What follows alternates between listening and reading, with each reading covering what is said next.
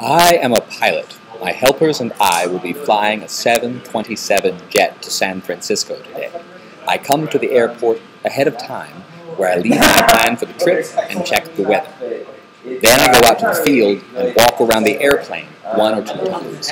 I make sure everything is all right before the people come.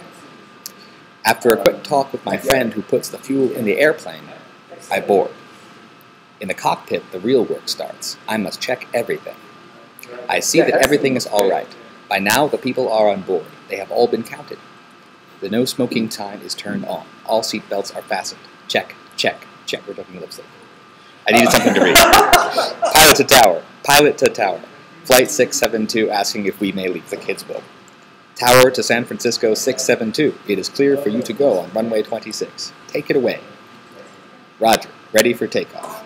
Yes, I'm a pilot and I can fly an airplane. Someday.